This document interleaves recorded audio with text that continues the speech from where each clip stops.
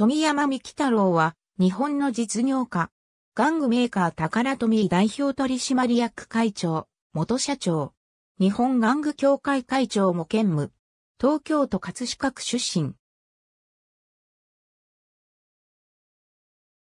宝トミーの前身であるトミーの創業者、富山栄一郎の孫として生まれる。1972年、麻布高校卒業。早稲田大学理工学部中退後、イギリスの春大学社会科学部に留学。卒業、帰国後の1982年7月に、父、富山城治が社長を務めるトミー工業に入社する。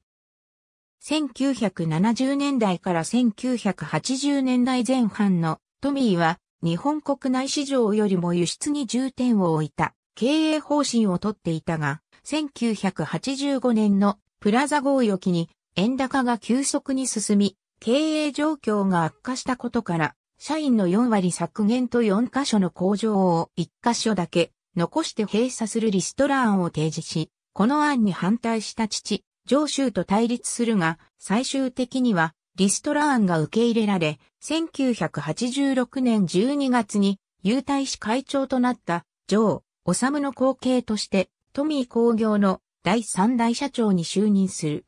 トミー工業は1989年に販売子会社と合併し、株式会社トミーに称号変更した。1990年代には、それまで競合事業者で業界首位のバンダイと比べて消極的であったキャラクタービジネスへの積極参加を打ち出す大胆な経営方針の転換に着手。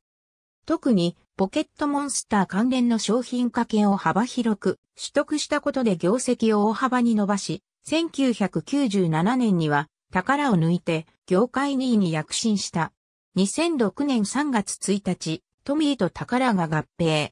トミーを存続会社とした新会社、宝トミーとなり、トミー時代より引き続いて代表取締役社長に就任する。2011年、第30回ベストファーザーイエローリボン賞を受賞した。